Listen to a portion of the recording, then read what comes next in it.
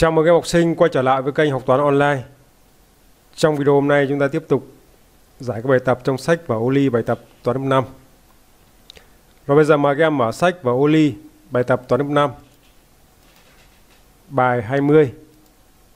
Luyện tập trung. Ở đây đối với mỗi bài tập, các em lên bấm tạm dừng video và các em làm trước rồi dính nháp. Sau khi làm xong, các em bấm tiếp tục video và so sánh xem là mình làm có đúng hay không nha. Rồi trước hết là các em làm bài tập số 1. Khoanh vào chữ đặt trước đáp án đúng. Câu A. Trong vườn có 63 cây cam và xoài. Số cây cam bằng 3 phần tư số cây xoài. Số cây xoài trong vườn là A là 18 cây, B là 27 cây và C là 36 cây. Rồi muốn biết đáp án nào là đáp án đúng thì chúng ta sẽ phân tích và giải bài toán ra giấy nháp. Trước hết là các em xác định dạng toán. Bài toán yêu cầu các em tìm số cây xoài trong vườn. Biết số cây cam bằng 3 phần tư số cây xoài. Tức là chúng ta biết tỷ số của hai số. Trong vườn có 63 cây cam và xoài. Như vậy là các em biết tổng của hai số. Thì đây là dạng toán tổng tỷ. Tổng của hai số bằng 63 và tỷ số của hai số bằng 3 phần 4. Và các em nhớ là các em cần phải phân biệt được tỷ thì là tỷ số của số nào so với số nào. Ở đây số cây cam bằng 3 phần 4 số cây xoài. Như vậy các em có thể hiểu là số cây cam là 3 phần và số cây xoài là 4 phần.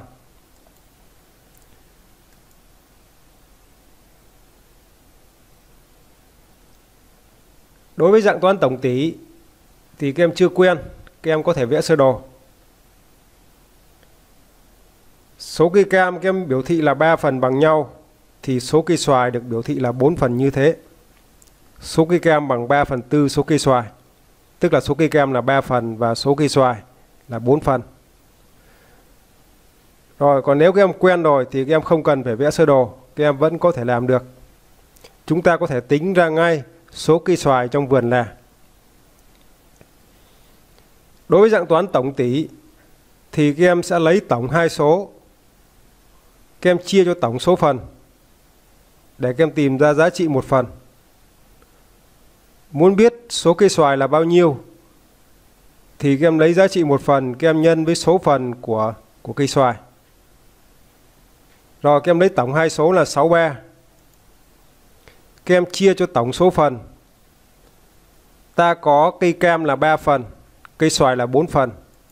Tổng số phần là 3 cộng 4. 63 chia cho 3 cộng 4 thì đây là giá trị của một phần.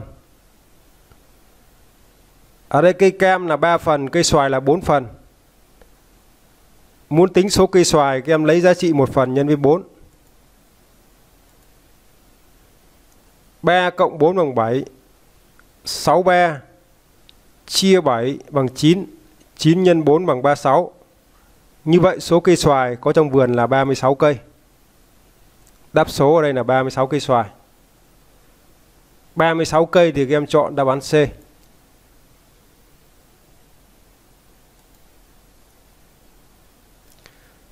Tiếp theo em sang câu B. May 18 bộ quần áo như nhau, hết 54 mét vải. May 25 bộ quần áo như thế, hết số mét vải là A là 75 mét, B là 65 mét và C là 85 mét. Rồi muốn biết đáp án nào là đáp án đúng thì chúng ta sẽ phân tích và giải bài toán này như sau.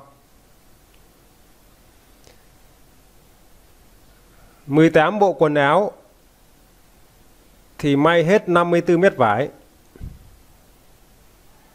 Như vậy, may một bộ quần áo hết số mét vải là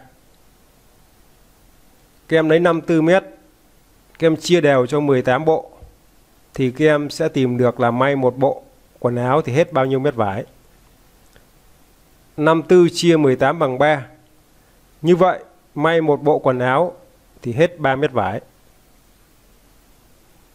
như vậy là chúng ta đã giải bài toán này theo cách là dùng bước rút về đơn vị. Các em rút về đơn vị là may một bộ hết bao nhiêu mét. Từ đó các em tính ra là may 25 bộ. Quần áo như thế thì hết bao nhiêu mét vải. May 25 bộ quần áo như thế, hết số mét vải là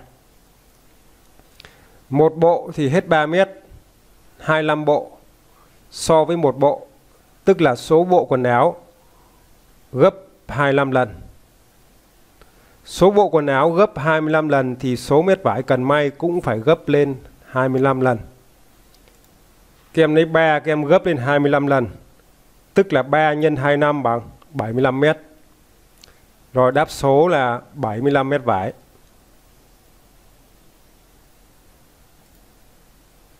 bảy mươi lăm mét chính là đáp án A. Các em chọn đáp án A.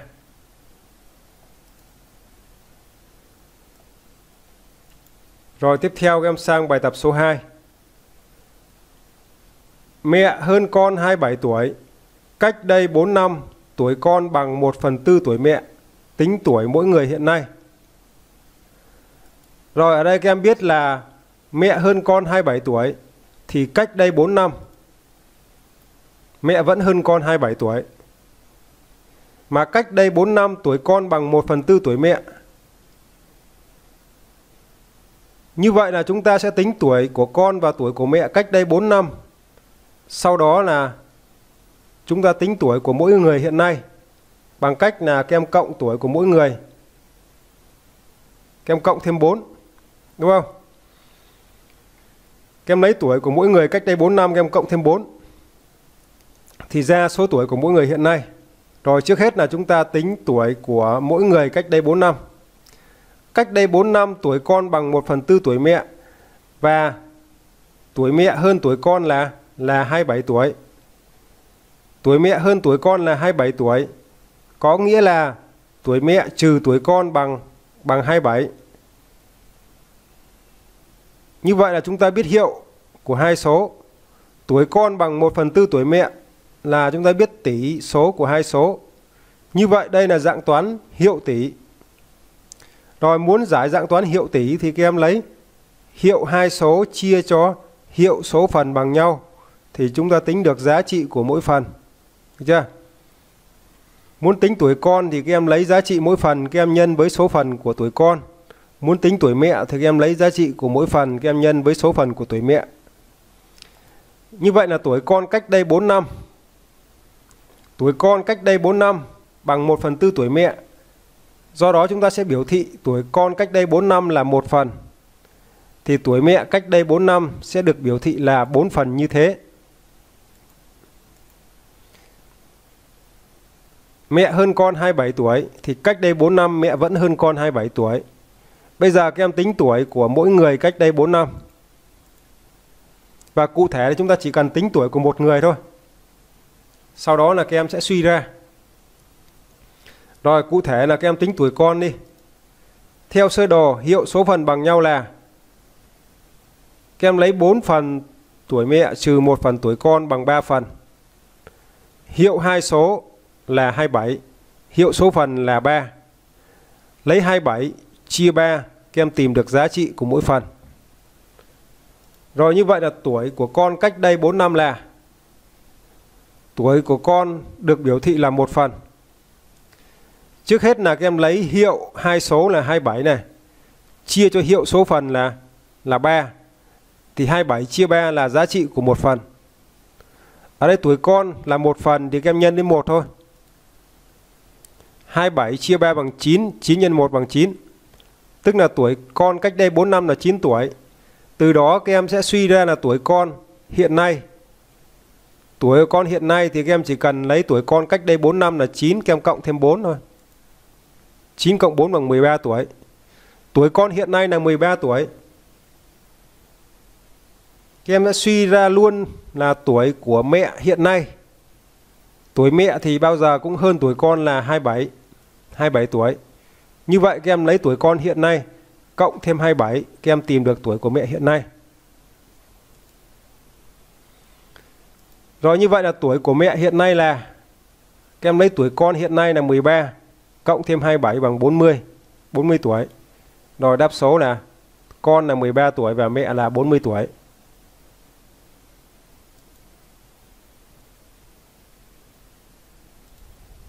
Tiếp theo các em sang bài tập số 3.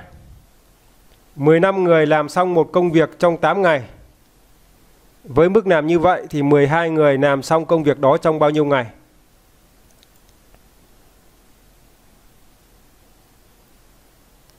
Ở đây nếu mà chúng ta dùng uh, phương pháp là dùng bước tìm tỷ số thì là tỷ số nó sẽ dưới dạng là phân số bởi vì 12 không chia hết cho 15 hoặc là 15 không chia hết cho 12. Nếu dùng bước tìm tỷ số thì các em sẽ để ở dưới dạng phân số. Như vậy là các em nên dùng bước rút về đơn vị. Cụ thể là các em rút về đơn vị là một người làm xong công việc đó trong thời gian là bao lâu?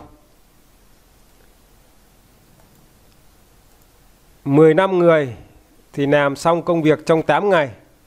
Như vậy các em rút về đơn vị là một người thì làm xong công việc đó trong bao nhiêu ngày? Một người so với 15 người, tức là số người giảm đi 15 lần. Số người giảm đi 15 lần thì công việc làm sẽ lâu lên. Một người làm sẽ lâu hơn là 15 người. Công việc làm của một người sẽ lâu hơn 15 người. Cụ thể là lâu hơn gấp 15 lần. Các em lấy 8 ngày, các em nhân đến 15. 8 nhân 15 thì bằng 120 ngày. Một người làm công việc đó sẽ lâu hơn 15 người làm công việc đó và cụ thể là lâu hơn 15 lần. Các em lấy 8 nhân 15 bằng 120 ngày. Rồi từ đó các em tính ra 12 người làm xong công việc đó trong thời gian là. Rồi như vậy là các em hiểu là một người làm xong công việc đó trong 120 ngày. Các em vừa tính xong. Như vậy 12 người làm xong công việc đó là trong bao nhiêu ngày? Bây giờ 12 người mà so với một người thì số người gấp 12 lần. Số người gấp 12 lần thì thời gian làm sẽ giảm đi 12 lần. Đông người lên thì làm nhanh hơn và cụ thể là thời gian làm sẽ giảm đi 12 lần. Các em lấy 120 ngày các em chia cho 12 Bằng bao nhiêu? Bằng 10, tức là 10 ngày. 12 người thì làm xong công việc đó trong 10 ngày thôi. Rồi đáp số là 10 ngày. Rồi, như vậy là video hôm nay xin được kết thúc ở đây. Cảm ơn các em đã dành thời gian để theo dõi video. Đừng quên ủng hộ kênh Học toán online bằng cách nhấn vào nút đăng ký và bấm chuông để nhận được những video mới nhất. Rồi, xin chào và hẹn gặp lại các em trong các video kế tiếp. Chúc các em học tốt.